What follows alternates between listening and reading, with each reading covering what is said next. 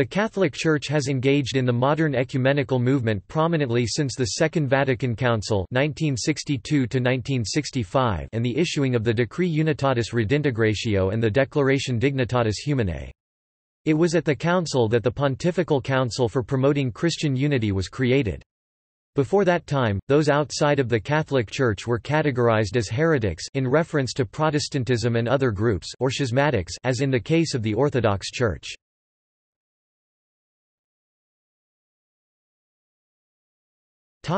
Definition. Ecumenism, from the Greek word oikoumene, meaning the whole inhabited world, cf. Acts 17.6, Mount 24.14, Heb 2.5, is the promotion of cooperation and unity among Christians. The Catholic Church's commitment to ecumenism is based on the conviction that a divided Christianity openly contradicts the will of Christ, scandalizes the world, and damages the holy cause of preaching the gospel to every creature." The search for Christian unity was one of the principal concerns of the Second Vatican Council.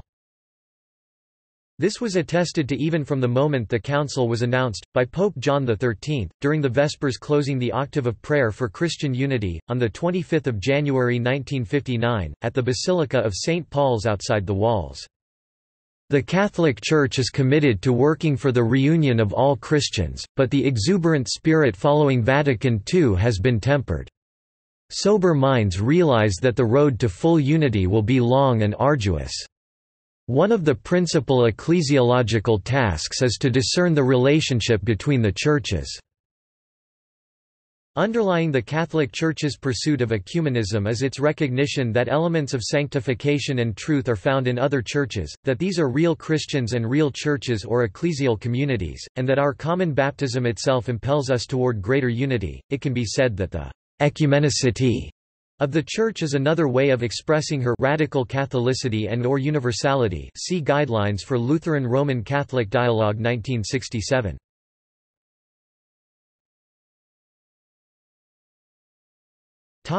Historical perspectives.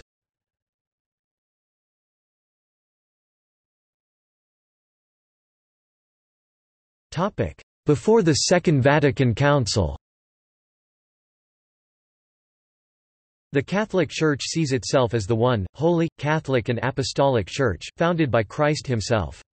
Its teachings, especially in the decades preceding the Second Vatican Council, equated the one Church of Christ with the Catholic Church, and sometimes as narrowly as the Latin Church alone. Ecumenism takes as its starting point that Christ founded just one church, not many churches, hence the Catholic Church has as its ultimate hope and objective, that through prayer, study, and dialogue, the historically separated bodies may come again to be reunited with it. Unity was always a principal aim of the Catholic Church. Before the Second Vatican Council, the Catholic Church defined ecumenism as a relations with other Christian groups in order to persuade these to return to a unity that they themselves had broken. Some traditionalist Catholics reject the Second Vatican Council reforms and maintain the pre-reform sense of ecumenism. At the Second Council of Lyon 1274 and the Council of Florence 1438 in which some bishops of the Eastern Orthodox churches participated, reunion formulas were worked out that, however, failed to win acceptance by the Eastern churches. The Catholic Church, even before the Second Vatican Council, always considered it a duty of the highest rank to seek full unity with estranged communions of fellow Christians, and at the same time to reject what it saw as promiscuous and false union that would mean being unfaithful to or glossing over the teaching of sacred scripture and tradition. But the main stress was laid on this second aspect, as exemplified in Canon 1258 the 1917 Code of Canon Law, it is illicit for the faithful to assist at or participate in any way in non-Catholic religious functions. For a serious reason requiring, in case of doubt, the bishop's approval, passive or merely material presence at non-Catholic funerals, weddings and similar occasions because of holding a civil office or as a courtesy can be tolerated, provided there is no danger of perversion or scandal.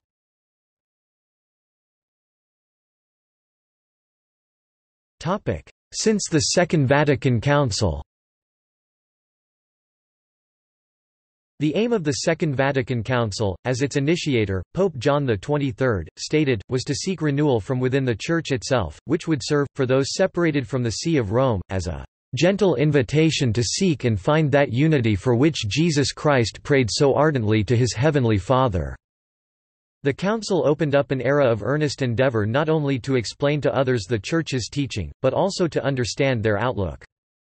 While the Catholic Church sees itself as the one, holy, Catholic and Apostolic Church, founded by Christ himself, it recognizes that elements of salvation are found in other churches also.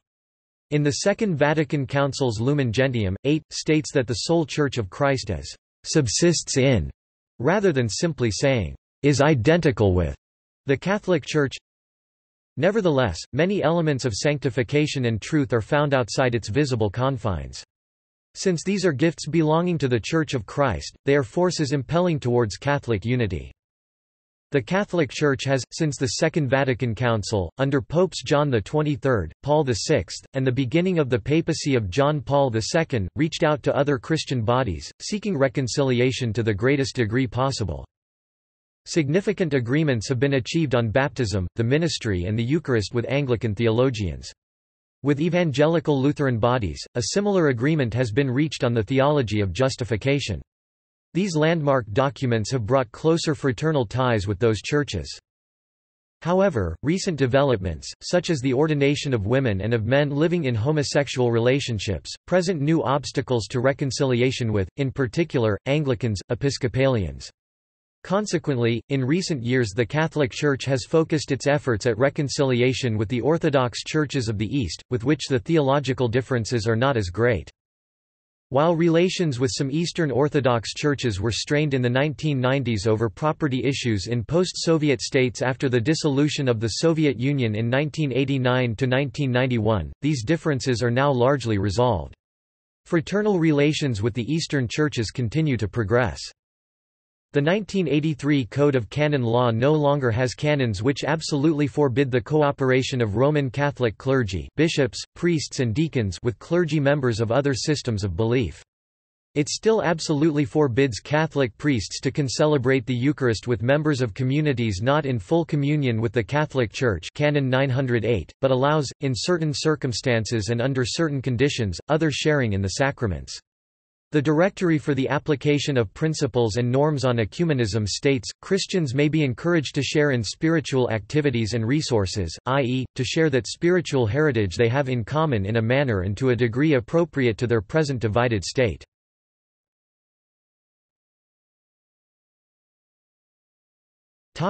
Relations with the World Council of Churches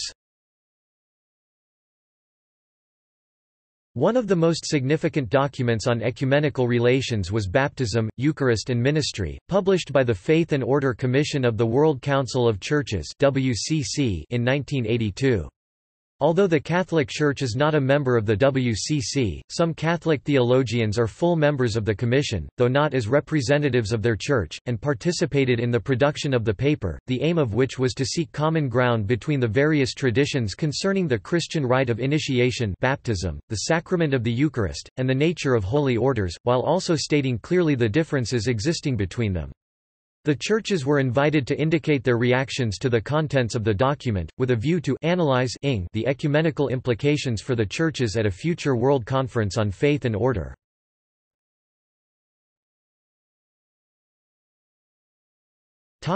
Relations with churches of the East The Catholic Church recognizes 21 ecumenical or general councils, Nicaea I 325, Constantinople I 381, Ephesus 431, Chalcedon 451, Constantinople II 553, Constantinople III 680 to 681, Nicaea II 787, Constantinople IV 869 to 870, Lateran I 1123, Lateran II 1139, Lateran III 1179, Lateran IV 1215, Lyons I 1245, Lyons II 1274, Vienne 1311 to 1312, Constance 1414 to 1418, Florence 1438 to 1445, Lateran V 1512 to 1517, Trent 1545 to 1563, Vatican I 1869 to 1870, Vatican II 1962 to 1965. Of these, the Orthodox Church of Byzantine tradition accepts only the first seven, the family of non-Chalcedonian or pre-Chalcedonian churches only the first three, and the Assyrian Church of the East only the first two.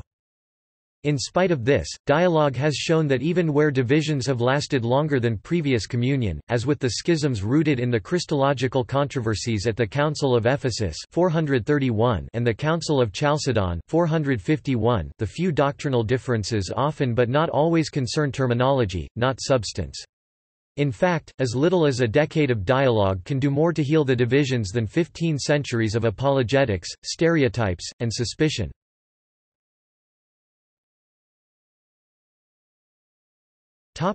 Assyrian Church of the East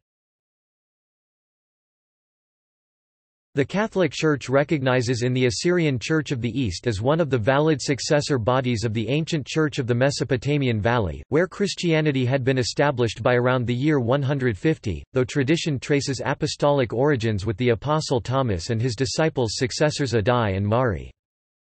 The division between the Church of the Persian Empire and the churches of Rome and Constantinople goes back to the disputes over the legitimacy of the terms Mother of God and Mother of Christ for the Virgin Mary, that came to a head at the Council of Ephesus in 431. The Assyrian Church had adopted radical Antiochene Christology, as articulated by Nestorius and Theodore of Mopsuestia. They have been sometimes, erroneously, called Nestorian. This appellation is rejected by the Catholic Church. Dialogue began with a meeting of the Assyrian Patriarch Catholicos Mar Dinka IV and Pope John Paul II in 1984, and the Patriarch's participation in the First Assisi Day of Prayer for Peace in 1986. Nearly a decade of dialogue proved sufficient to resolve the disagreements over terminology in Christology, leading to the Common Christological Declaration between the Catholic Church and the Assyrian Church of the East, signed by Pope John Paul II of the Catholic Church, and Mar Dinka IV of the Assyrian Church of the East in 1994. The Common Declaration recalls that the Assyrian Church of the East prays to the Virgin Mary as, "...the Mother of Christ our God and Saviour." And the Catholic tradition addresses the Virgin Mary as the Mother of God, and also as the Mother of Christ, fuller expressions by which each church clearly acknowledges both the divinity and the humanity of Mary's Son. The co-signers of the Common Declaration could thus state, we both recognize the legitimacy and rightness of these expressions of the same faith and we both respect the preference of each church in her liturgical life and piety." Over the next six years, annual meetings of the dialogue came to a common understanding of sacraments, published in 2000 as the Common Statement on Sacramental Life. It was hoped that this too would be raised to the level of a joint or common declaration, while the dialogue moved on to practical ecclesiological, pastoral, and administrative questions for full communion. However, in 2004, on the eve of a formal common declaration, the Assyrian Patriarch and bishops decided to suspend the dialogue, realizing that all obstacles to restoring full communion with the Catholic Church had been proven to no longer exist. The following year the Assyrian Synod suspended their chief ecumenist of 20 years, Mar Bawai Saro, who had led the dialogue with Rome. In 2008, Mar Bawai, along with six priests, thirty deacons, and about a thousand faithful, broke communion with the Assyrian Church and entered into full communion as part of the Chaldean Catholic Church. The personal tensions from these events further delayed the continuation of reunion talks. In March 2015, Mar Dinka IV died. In September 2015, a new Catholicos Patriarch was elected, Gewargis III. Topic: Dialogue documents. 1994 Common Christological Declaration. 1997 Joint Synodical Decree for promoting unity between the Assyrian Church of the East and the Chaldean Catholic Church. 2001 Guidelines for admission to the Eucharist between the Chaldean Church and the Assyrian Church of the East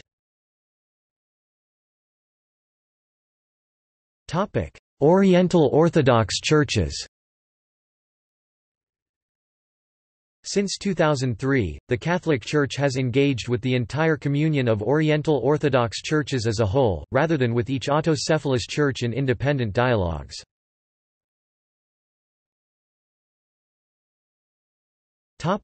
Dialogue documents.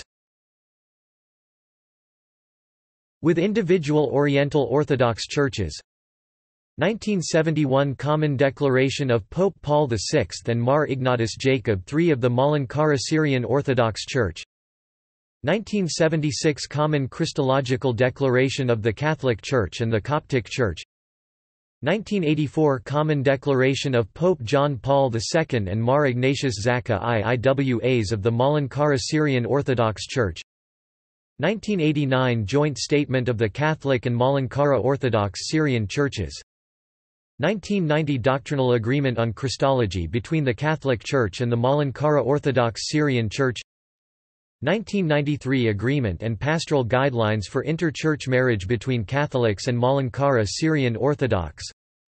1999 Joint Statement on the Synod of Diamper AD 1599 by the Catholic and Malankara Orthodox Syrian Churches with the Oriental Orthodox Communion as a whole 2009 Nature, Constitution, and Mission of the Church 2015 The exercise of communion in the life of the early Church and its implications for our search for communion today. The Eastern Orthodox Churches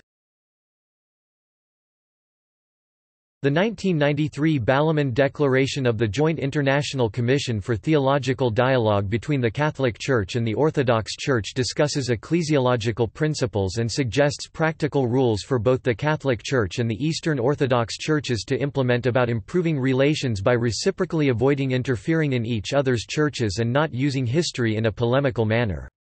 According to Cardinal Edward Cassidy, the report contains three principles, that individuals have the freedom to follow their conscience, that Eastern Catholic churches have the right to exist, that uniatism is not the current method of full communion, and two conclusions, that the Catholic Church and the Eastern Orthodox churches are sister churches, and that rebaptism should be avoided. The principle that the inviolable freedom of persons and their obligation to follow the requirements of their conscience is foundational, according to Cassidy, and justifies both the personal choice to adhere to the Catholic Church or to the Orthodox Church, and offers the possibility of returning to the Catholic Church for those communities which in 1945–49 had been forced to convert by communist regimes to become part of the Orthodox Church. As happened in the Ukrainian Soviet Socialist Republic, the Socialist Republic of Romania and the Czechoslovak Socialist Republic. The Eastern Catholics rejected the report, because it seemed to imply they should never have existed in the first place, while the Eastern Orthodox rejected it because it did not call for the abolition of the Eastern Catholic churches.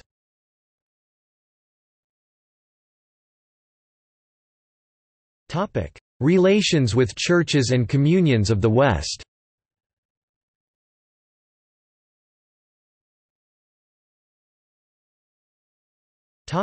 The Anglican Communion.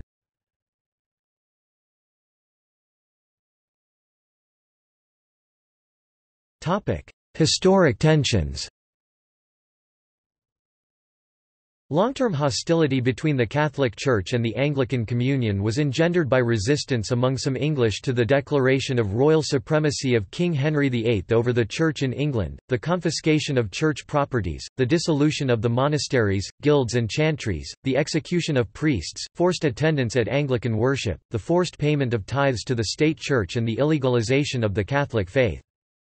There was a brief restoration of communion with Rome during the reign of Mary I of England. Her death marked the end of Catholic attempts to reconcile by law the English Church to Rome. Subsequently, Pope Pius V's excommunication of Elizabeth I of England in 1570 and authorization of rebellion against her contributed to official suspicion of the allegiances of English Catholics. This, combined with a desire to assert the claims of the established Church, led to the promulgation of restrictive laws against their civil and religious rights. Elizabethan-era restrictions were only relieved through several legislative reforms in the 19th century, cumulatively known as Catholic emancipation. The last restriction on Catholics preventing them from marrying into the royal family remains in effect.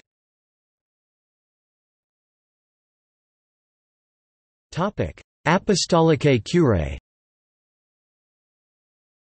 in 1896 Pope Leo XIII issued Apostolicae Curae rejecting the Anglo-Catholic claims of the Oxford Movement and the Chicago-Lambeth Quadrilateral such as apostolic succession. In it Leo XIII declared Anglican orders, "...absolutely null and utterly void." The official reply of the archbishops of the Church of England was saepius officio. The judgment remain in effect to the present. The judgment of nullity was reaffirmed in 1998 by the Congregation for the Doctrine of the Faith, when it gave Apostolicae Curae as an example of the authoritative teaching of the Catholic Church.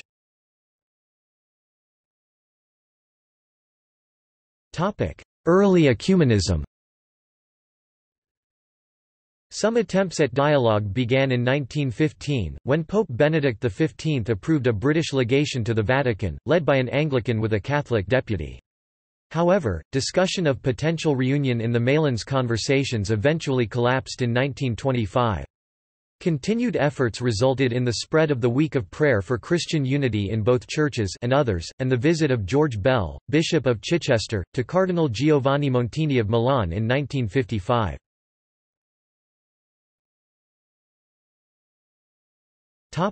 Post-Second Vatican Council developments Real rapprochement was achieved under the leadership of Pope John XXIII, whose foundation of the Secretariat for the Promotion of Christian Unity encouraged Archbishop Geoffrey Fisher to make a historic, though not entirely official, visit to the Vatican in 1960. Subsequently, the Bishop of Ripon, John Moorman, led a delegation of Anglican observers to the Second Vatican Council. In 1966, Archbishop Michael Ramsey made an official visit to Pope Paul VI, and in the following year, the Anglican Roman Catholic International Commission was established. Its first project focused on the authority of Scripture, and the Commission has since produced nine agreed statements. Phase 1 of ARCIC ended in 1981 with the publication of a final report, Elucidations on Authority in the Church. Phase 2 has been ongoing since 1983. The most recent agreed statement dealt with Marian theology, and was published in 2004. Paul VI went so far as to refer to the Anglican Church as, "...our beloved sister church", though this description might not tie in with present thinking in the Vatican. Until recently it was used the website of the Roman Catholic Ampleforth College referring to Anglican pupils at that school. Given the significant extent of our common understanding of the Eucharist, and the central importance of the Eucharist to our faith. Arcic wrote in a non-authoritative statement, Growing Together in Unity and Mission GTUM, that we encourage attendance at each other's Eucharists, respecting the different disciplines of our churches." GTUM suggests that we encourage Anglicans and Roman Catholics to pray for the local bishop of the other church as well as for their own bishop, and for God's blessing on their cooperation where possible in their leadership of the local church's mission. We welcome the growing Anglican custom of including in the prayers of the faithful a prayer for the Pope, and we invite Roman Catholics to pray regularly in public for the Archbishop of Canterbury and the leaders of the Anglican Communion. Since both mutually recognize their administration of baptism, GTUM suggests that a number of practical initiatives are possible. Local churches may consider developing joint programs for the formation of families when they present children for baptism, as well as preparing common catechetical resources for use in baptismal and confirmation preparation and in Sunday schools. We suggest that our local parishes regularly make a public profession of faith together, perhaps by renewing baptismal promises at Pentecost each year. We invite local churches to use the same baptismal certificate, and, where necessary, to review and improve those currently in use. While respecting current canonical requirements, we also encourage the inclusion of witnesses from the other church at baptisms and confirmations, particularly in the case of candidates from interchurch families.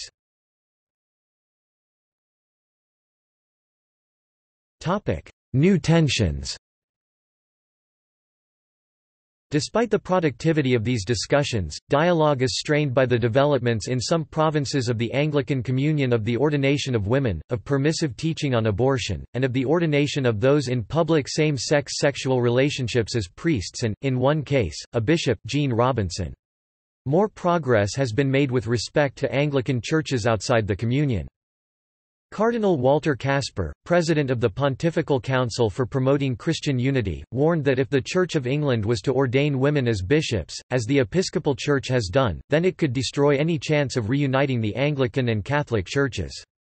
Although ARCIC had completed a major document on Marian theology in 2003, John Paul II temporarily called off all future talks between the Catholic Church and the Anglican Communion after the consecration of Gene Robinson as bishop. John Paul II made pastoral provision for Anglican congregations which as a whole wish to enter into full communion with the Holy See. There has been only a small number of Anglican use parishes, all of which are in the United States. These are Roman Catholic parishes which are allowed to retain some features of the Book of Common Prayer in worship. Additionally, one of the continuing Anglican churches attempted to achieve the recognition of Rome without abandoning its liturgical traditions, as the Anglican use parishes have done. According to Canon 844 of the 1983 Code of Canon Law of the Latin Church, Catholics should not receive communion from an Anglican minister and Catholic ministers could administer to an Anglican the sacraments of Eucharist, penance and anointing of the sick, only in danger of death or some other grave and pressing need, and provided the Anglican in question cannot approach an Anglican priest, spontaneously asks for the sacrament, demonstrates the faith of the Catholic Church in respect of the sacrament and is properly disposed. Canon 840 44 Section 4.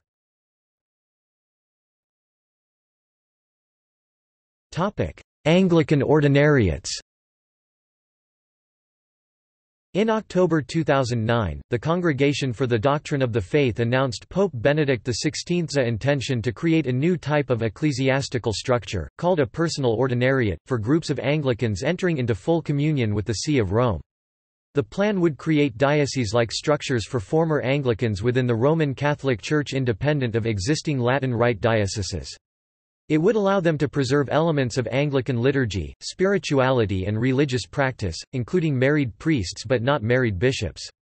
Anglicanorum Coetibus was issued on 4 November 2009.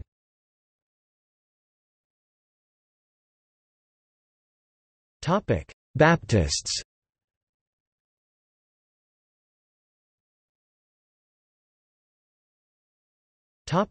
Disciples of Christ.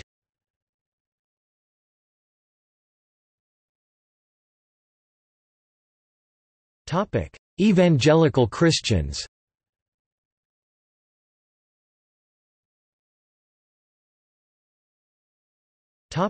Lutheran churches. The Lutheran Roman Catholic dialogue began over 30 years ago, and has consisted of 11 rounds of discussion. The most recent discussion has focused on doctrines associated with eternal life. The dialogue process has produced one major joint declaration, concerning the doctrine of justification, issued in 1999 called the Joint Declaration on the Doctrine of Justification.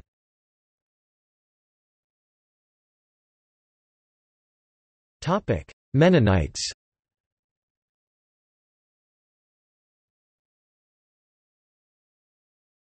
Topic: Methodist churches.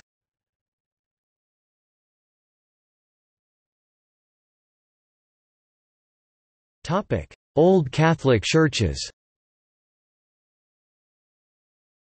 The Old Catholic Archdiocese of Utrecht was formed in 1703, in the area occupied by the historical Roman Catholic Archdiocese of Utrecht, which had been canonically suppressed in response to the Protestant Reformation in 1580 and superseded by the Dutch mission erected in 1592. After 1870, several German speaking Catholics left the Catholic Church in light of the First Vatican Council.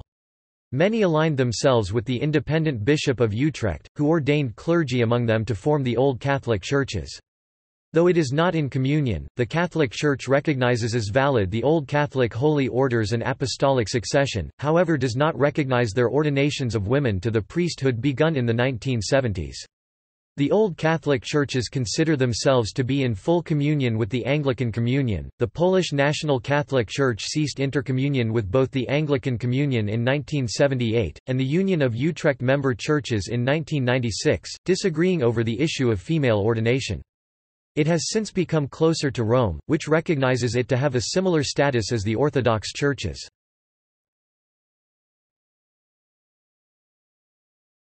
Topic: Reformed churches.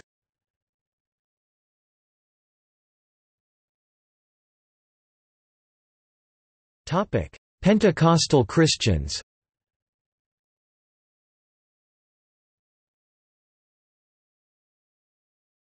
Topic. Practical ecumenism and church attendance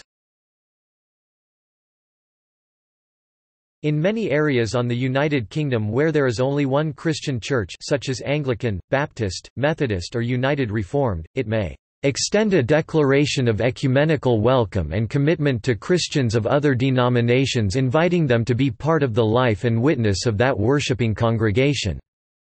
The following guidelines were offered by the Catholic Bishops' Conference of England and Wales for the faithful 3. Catholics who are committed to the life of their parish are encouraged to respond positively to these declarations by exercising their Christian ministry within the village in which they live, by participating in Christian outreach and service undertaken by the congregation engaging in prayer, discussion and study groups and serving on such committees as are appropriate. Point 4.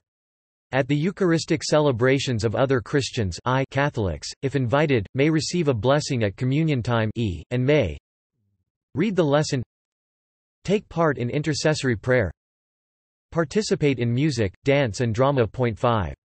At non-Eucharistic services of other Christians e Catholics may participate in planning and leading the service read the lesson and gospel give the address lead or take part in intercessory prayer participate in music, dance and drama Roman Catholic Archbishop John Bathersby and Anglican Bishop David Beetge, who chair the International Anglican Roman Catholic Commission for Unity and Mission, encourage Protestants and Catholics to attend one another's services, although not receiving Holy Communion at them, as delineated in Growing Together in Unity and Mission.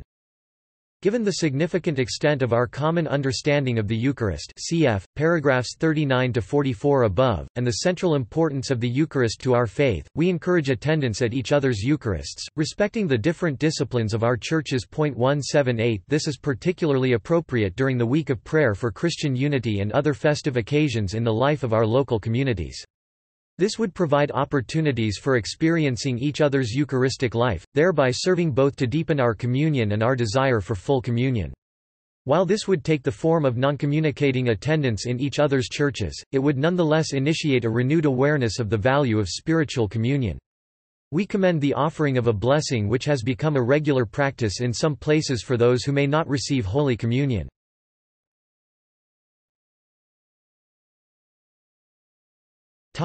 Major documents.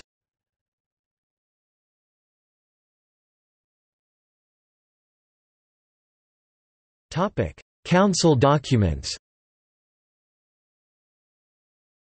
1274 Council of Lyons, Session IV, Declaration of Union with the Greek Churches. 1439 Council of Basel Ferrara Florence, Laetentur Caeli, Bull of Union with the Greeks 1964 Second Vatican Council, Lumen Gentium, Dogmatic Constitution on the Church 1964 Second Vatican Council, Unitatis Redintegratio, Decree on Ecumenism.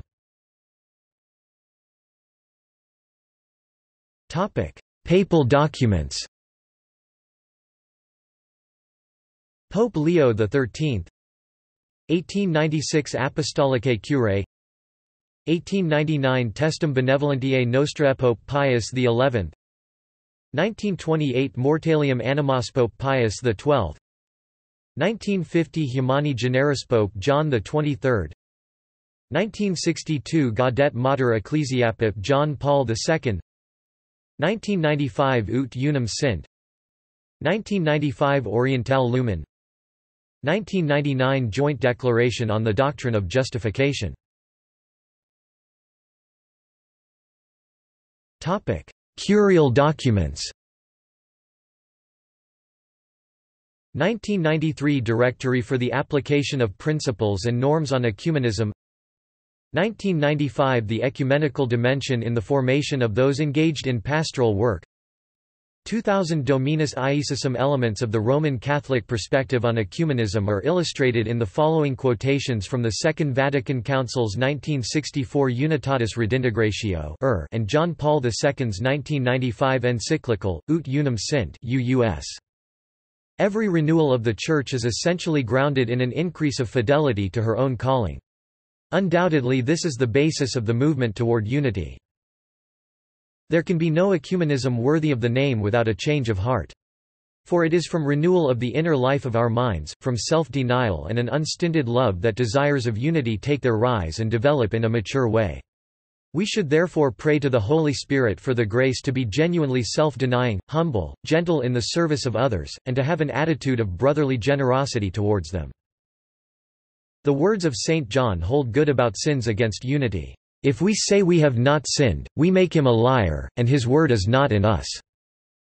So we humbly beg pardon of God and of our separated brethren, just as we forgive them that trespass against us. Er, 6–7 Christians cannot underestimate the burden of long-standing misgivings inherited from the past, and of mutual misunderstandings and prejudices. Complacency, indifference and insufficient knowledge of one another often make this situation worse. Consequently, the commitment to ecumenism must be based upon the conversion of hearts and upon prayer, which will also lead to the necessary purification of past memories. With the grace of the Holy Spirit, the Lord's disciples, inspired by love, by the power of the truth and by a sincere desire for mutual forgiveness and reconciliation, are called to re-examine together their painful past and the hurt which that past regrettably continues to provoke even today. UUS 2. In ecumenical dialogue, Catholic theologians standing fast by the teaching of the Church and investigating the divine mysteries with the separated brethren must proceed with love for the truth, with charity, and with humility. When comparing doctrines with one another, they should remember that in Catholic doctrine there exists a hierarchy of truths, since they vary in their relation to the fundamental Christian faith. Thus the way will be opened by which through fraternal rivalry all will be stirred to a deeper understanding and a clearer presentation of the unfathomable riches of Christ er, 11. The unity willed by God can be attained only by the adherence of all to the content of revealed faith in its entirety. In matters of faith, compromise is in contradiction with God who is truth. In the body of Christ, the way, and the truth, and the life JN 14-6, who could consider legitimate a reconciliation brought about at the expense of the truth? Even so, doctrine needs to be presented in a way that makes it understandable to those for whom God himself intends it.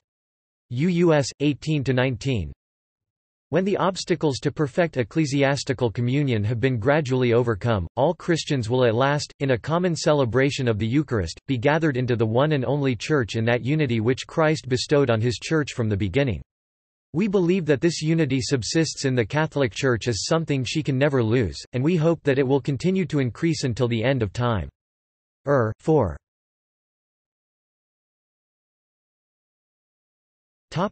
See also